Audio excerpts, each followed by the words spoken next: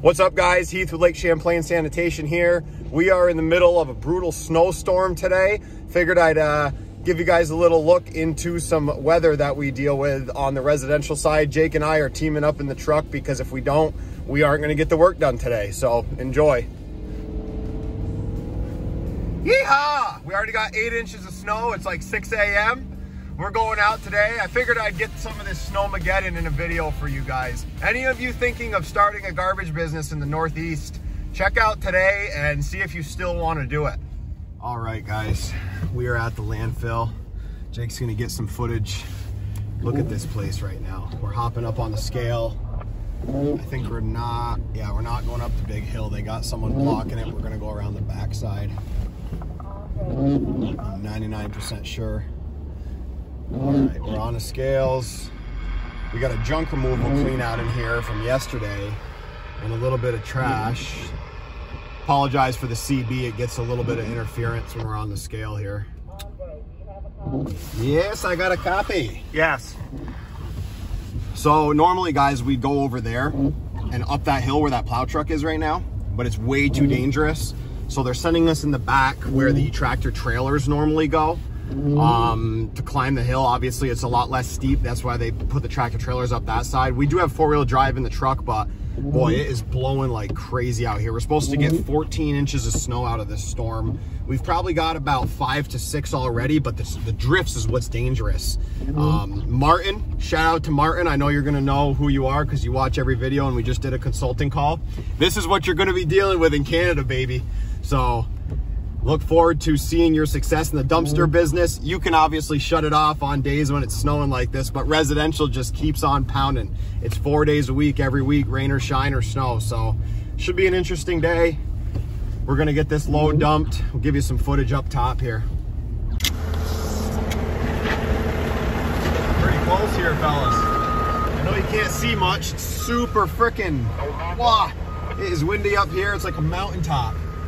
But just wanted to give you a little sh shot inside the landfill here. Here we go.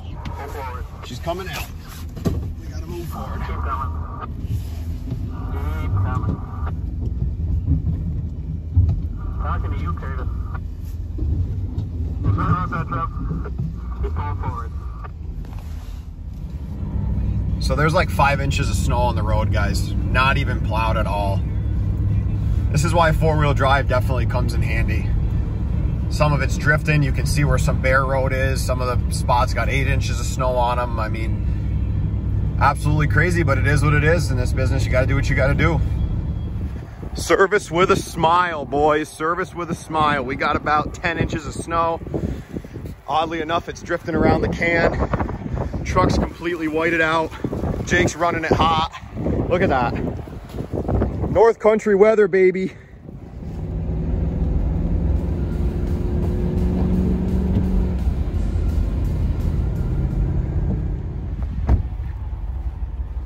The snow is piling up. Our cans are like three and a half feet tall and it's almost completely buried. Yeehaw! That's where we're headed, boys. Up the mountain. Truck's still looking pretty good for being covered in snow. Rolling heavy in the four-wheel drive. Look at that. That'd be a lot of fun on a snowmobile. Cans blowing wide open, boys. We're up on uh, Beartown area right now. There's like a little ski mountain up the road. She is coming down.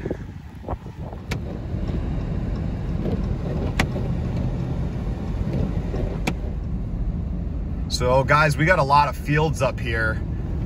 As you can see, we got some snow drifts just starting. I mean, this snow literally started like three hours ago. It's supposed to go all day. We'll see how bad it gets. Keep on trucking. I don't know if you guys can see, but it's like a ripple effect on the roads out here. There's like seven, eight inches of snow out here on the road.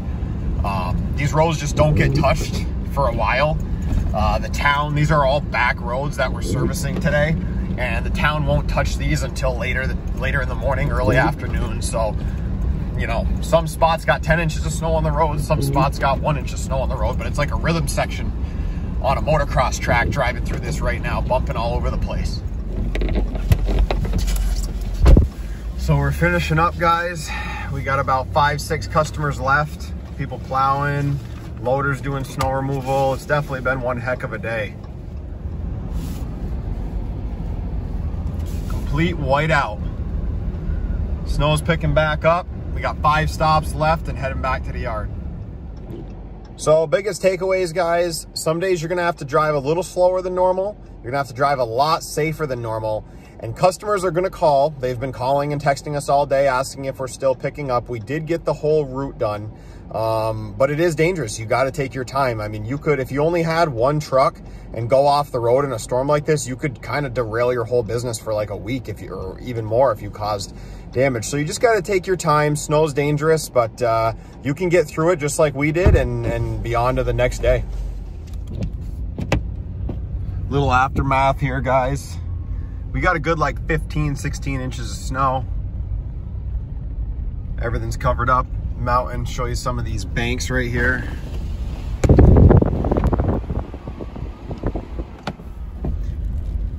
definitely makes trucking interesting. Out now by the fire, guys. It was a heck of a day.